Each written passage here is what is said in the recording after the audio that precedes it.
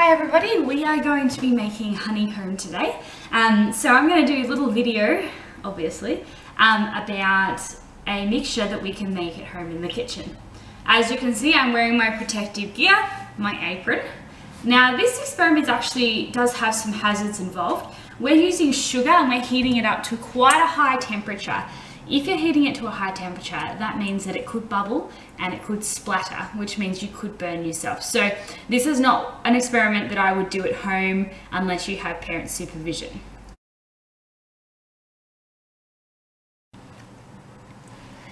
Okay, so in a small saucepan, you're going to add sugar. There's three quarters of a cup. There's a quarter of a cup of water, and then there's one tablespoon of golden syrup. We're just going to mix that to start off with.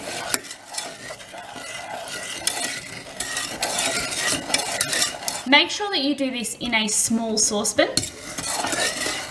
You don't want to use something too big, otherwise the entire bottom will just burn.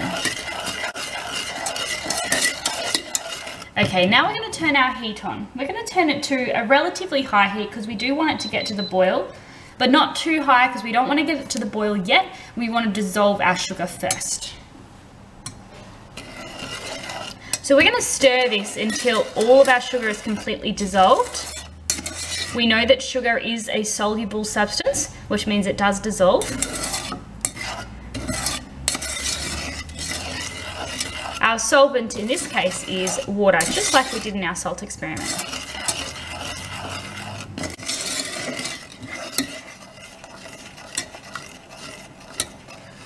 My sugar is almost completely dissolved, so I'm going to turn the temperature up.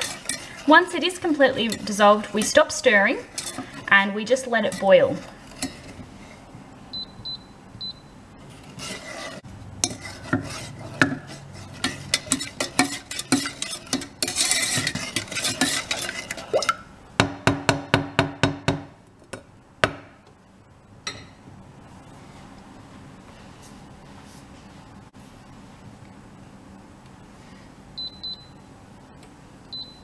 Now I would suggest for this experiment that you do have an exhaust fan on because if you burn the sugar, it will smoke um, and it will cause quite a bit of uh, blackening on your saucepan as well. So make sure you put the fan on. If it starts to smell like it's burning, take it off the heat immediately. Um, and my suggestion would be that you take it outside where it's not going to set off the fire alarm and fill it up with water. I will show you an experiment gone wrong after we finish this. Alright, so my mixture has been going for eight minutes now and it's looking really good. It's not too brown, it's looking a really nice golden brown and it smells really delicious. Now from here you need to have a spoon ready you need to have some baking paper on a tray ready and you need to have some sifted bicarb soda. As you can see, I've got there.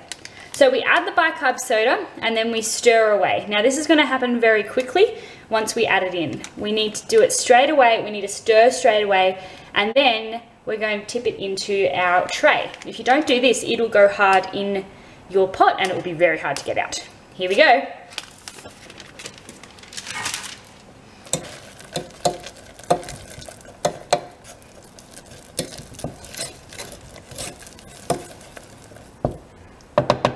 See it's starting to bubble up when I'm mixing it and it's going this really nice fluffy colour. I mix, I mix, I mix. Then once I think I've mixed it all in, I'm going to, there it is, put it onto my tray.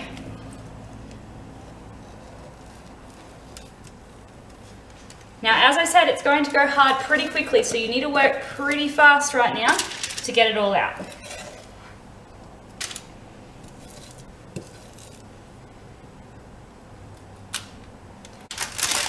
Here we go, you can see it's very sticky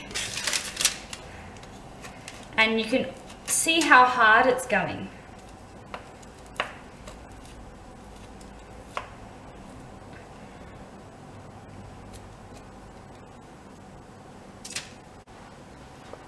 All right, we'll just have a look in here. You can see it's a really light color and it wasn't before. That's the bicarb soda reaction, it changes the color.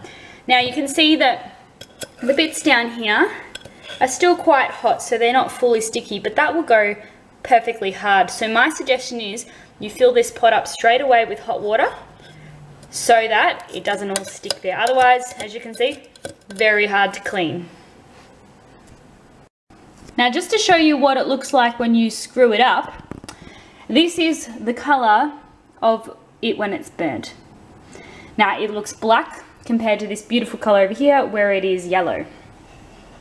Now what I've done here is I've used too big a pot when you use too big a pot, it'll end up being too spread out and so it heats up much faster and it burns. So you need to keep your eye on the temperature. If it looks like it's going too dark, you just turn the temperature down. Now, as you can see here, this is a liquid. It doesn't look like what it used to. I've actually added water in because if you don't add water in straight away, if you've messed it up, it will be burnt to the bottom. But I've added water straight away and what that means it'll be much easier to clean. Once you've let your honeycomb cool, it should on top feel rock hard and it shouldn't be, feel hot at all. Mine still feels hot, but some of the smaller pieces don't feel hot anymore, like this piece I have in my hand. Now, once it's cooled down enough, you should be able to just break it and it makes that nice sound. And you can look here, it just looks like honeycomb. So now I've finished making my honeycomb.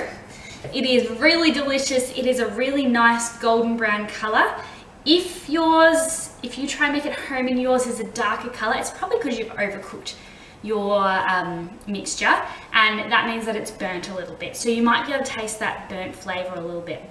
Now, with honeycomb, it actually is really interesting. If it's open air and it gets oxygen in it, it starts to go really soft and funny. So you do need to keep honeycomb in a locked container or, like they sell it in shops, you cover it with chocolate.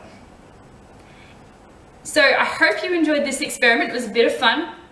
Um, if you have parent consent and you have supervision, you may try this at home. Remember that there's some hazards involved. It is hot. You may have smoke if you burn it. You may burn the bottom of pans. You have to be really careful about the temperature. If it looks like it's too hot and it's smoking, you need to turn it down and take it off the temperature. Um, and then hopefully um, start again. If you burn it, there's no going back, you can't do anything else, you've got to start the experiment again. So, hope you've enjoyed today's science. See you later.